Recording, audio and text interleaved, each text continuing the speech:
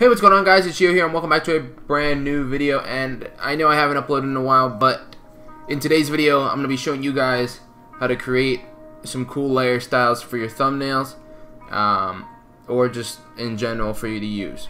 So uh, yeah, let's get right into it. Now the first thing you want to do is type something in. Uh, let's just for example just type in text. Uh, here is the text. We're going to do multiple so we're going to put them in like one in each corner real quick just to show you guys some examples. Well, I'll change the color in a moment. First thing you're going to want to do is click on blending options right here uh, and click on inner shadow. Uh, once you do that, you can select the same color but just make it a bit brighter. Um, there you go. And then you do the same thing and go to inner glow and then click a similar color so then it does that and then you can increase the size a bit so you could do something cool like that. Uh, normally it doesn't look very cool with green so let's just do it with like yellow or something. Uh, and then we make the text a similar color.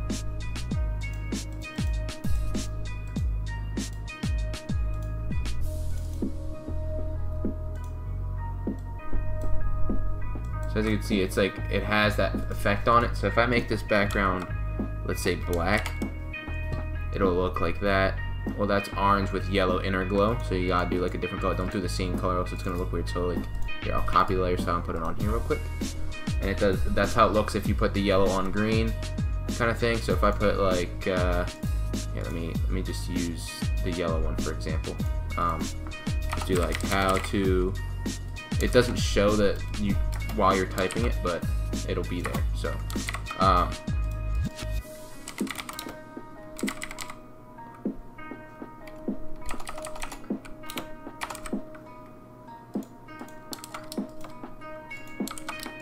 could do that, and then what I would do is, I normally don't do this exact style, obviously, but what you could do is uh, make this like a grayish. Do the same thing with this one. But make it like that and then make it 10% would look alright on this. So you would have this. And then you could type that and this is how it would look. It would look really really clean on here. So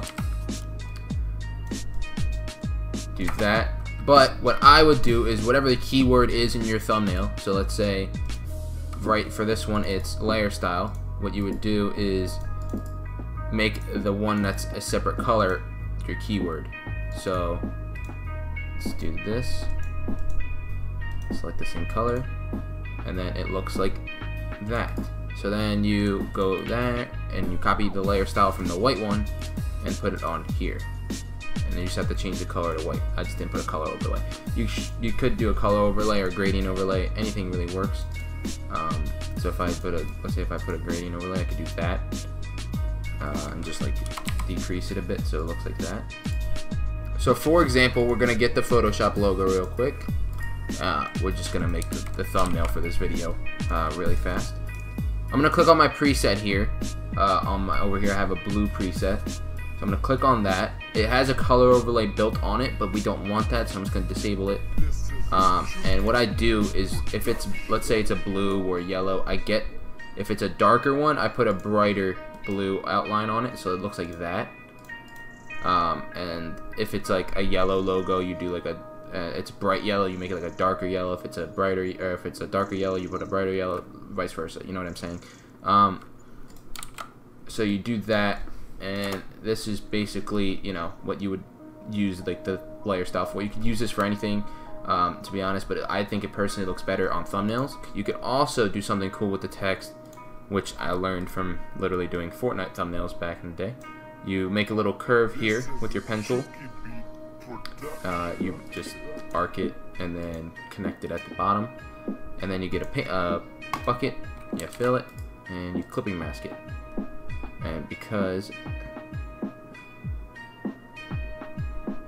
oh I put it on the wrong thing. You clipping mask it to this one and that's how it'll look.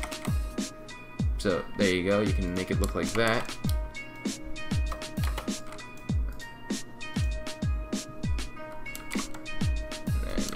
this one. Stretch it out a bit because this one's longer. And then clipping mask it. And I would turn it down a bit because it's way too dark for all three of those texts. So I would make it look like that. I, I kind of removed the inner shadow, mostly because I think it looks kind of weird if in this in this sense. It just looks weird. So I took it off and it looks a, a little bit better. I, I actually made the changes and you can make it whatever you want. I'm personally going to do this and make it like the same as it what it is right here and it looks way better. There you go. There's the thumbnail for the video. Um, I might change a few things around. Make maybe move this over to the right a bit uh, because it's too close to the edge. So it'll be like there. And then we can have a little we can have a little arrow pointing over here. So let me get the arrow from my thing. Do something like this. Have another layer style. I can just do that. There you go. So we're to move this underneath the rectangle. So then it looks like that. So it looks like it's coming from underneath the, the rectangle there. Um, let me fix the layer style a bit here. Or let me fix the drop shadow.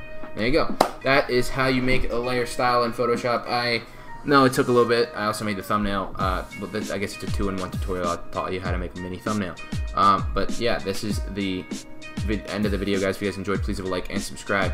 And I'll be sure to talk to you guys in the next video. Later.